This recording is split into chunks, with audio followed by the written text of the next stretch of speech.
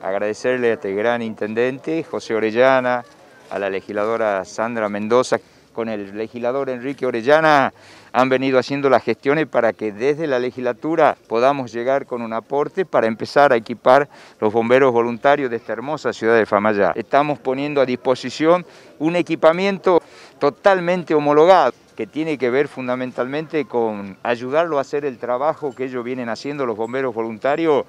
pero también a preservar y a cuidar su vida. Queremos agradecerle al intendente de Alderete, Aldo Salomón, y también a una legisladora como es Graciela Gutiérrez, legisladora del Este Tucumano. Hoy también hemos asumido el compromiso con José, con Sandra, con Enrique, también de dotarlo de una autobomba para poder mejorar el equipamiento a los que hoy prestan servicio en este municipio. Sí, nosotros como famayenses muy agradecidos de nuestro vicegobernador y lo podemos apreciar que lo está haciendo al mismo gesto y a distintas instituciones a lo largo y a lo ancho de toda la provincia de Tucumán. Por decisión de nuestro vicegobernador le va a hacer la donación de la autobomba, que significa que van a poder tener la herramienta más importante, la más imposible de tenerla,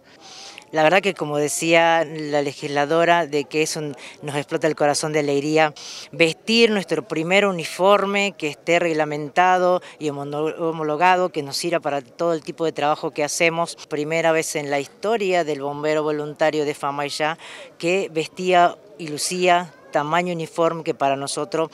es eh, nuestro gran orgullo. Esta legislatura no solamente es el lugar donde nos eh, juntamos para hacer leyes, sino que también le ha dado este vuelco muy importante a través del vicegobernador en ayudar a las instituciones. Y eso es lo que hemos venido haciendo desde el día uno que asumió nuestro vicegobernador. Vamos a seguir trabajando en equipo con el gobernador Juan Mansur a cargo de la provincia, con los señores intendentes, con los legisladores, con los comisionados comunales, porque el rol y la función que tiene el bombero voluntario, repito, es salvar vida. Pero para ello nosotros tenemos que concientizarnos que tenemos que ayudarlo, tenemos que colaborarlo, porque es la única manera que ellos puedan prestar un servicio mucho más eficiente.